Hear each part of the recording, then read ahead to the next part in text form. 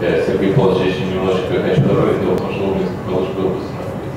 Вся Калужская область сейчас очень бурно развивается, как ни странно. Это не совсем корректное сравнение. Э, И действительно, э, продолжение сказанного, посмотрим на Калужскую область и посмотрим, что там происходит, как она бурно развивается, сколько открыто за последние 10 лет новых предприятий с иностранными инвестициями. А поразительный пример э, того, насколько качество управления регионом может влиять.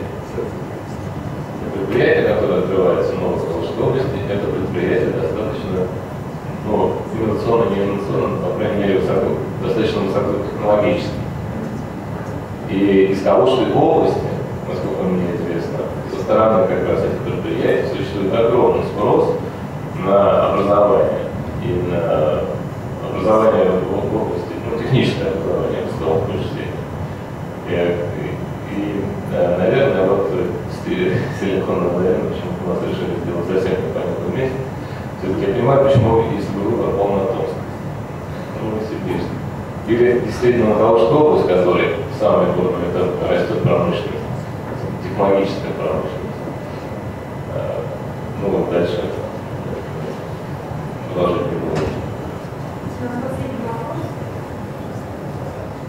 I, I have one, uh, one question and comment. Uh, uh, one of the things that's happened over the last 15 years since Russia has opened and many Russians have had a chance to travel and receive educations in other countries, uh, they have had experiences in practical business outside of Russia. Uh, One organization in Silicon Valley is called AMBAR. AMBAR is founded by Russian graduates of the Stanford Business School.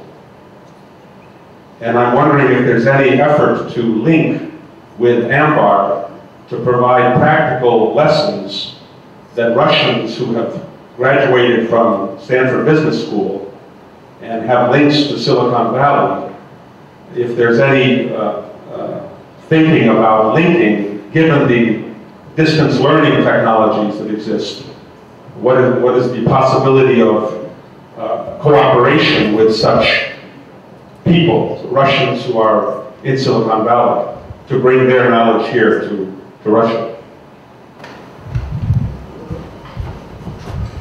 Ну, э, у меня такое предложение. Я э, Марте отдельно отвечу на этот вопрос. А для аудитории отвечу по-русски. Вопрос о связях Силиконовой долиной и э, вопрос о том, что есть ассоциация American Business Association of Russians, и там ну, сотни наших э, земляков э, в широком смысле э, единомышленников, э, ну, в общем, процветают, когда мы туда приезжаем, это такое ну, приятное очень зрелище. Ну, когда видишь, что люди состоялись, когда у все получилось, они уехали, вот когда приезжаешь в Нью-Йорк, э, встречаешь людей, которые выехали из СССР, они обычно работают на такси.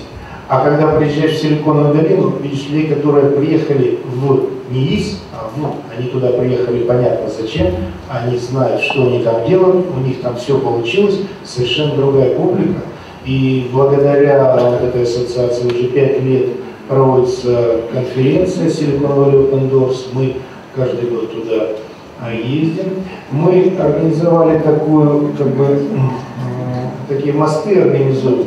Мы берем лучшего выпускника, э, ну, как бы лучшего выпускника нашего бизнес-инкубатора, ассоциация выпускников университета, дает ему грант и направляет на то, чтобы он выступил э, перед инвесторами. И вот э, э, такая кампания организована была уже лет, наверное, пять тоже назад. Э, Томск Инкорпорейт, это у нее такое символическое название. И эта, эта фирма является одной новой моста в Калифорнии, и в Томске у них есть зеркало, называется Томсофт, и между ними университет. Вот эта модель, мы ее пытаемся развивать, и достаточно успешно. Вот у нас э, пару недель назад был в гостях э, один из организаторов Евгений Зайцев, он сам из Барнаула, Сибири, потом э, получил PhD в Стэнфорде, органи- был соорганизатором вот этого всего движения в Силиконовой долине. Но, пользуясь случаем, э, приглашаю всех, замечательное совершенно э, событие. Мы вот с Марти встретились там как раз э, в Силиконовой долине. Совершенно волшебная обстановка и атмосфера инноваций, и девочки обсуждают э, только значит, технологические аспекты стартапа. Ну, совершенно невероятная какая-то, религиозная такая. Э, начинаешь разговаривать, э, да, и так или иначе э, крови переходит здесь. Ну, приглашаю. А, Спасибо большое за очень хорошее замечание о том, что э, нужно использовать ресурс а, тех, кто уехал из России и работает сейчас в зарубежных технопарках.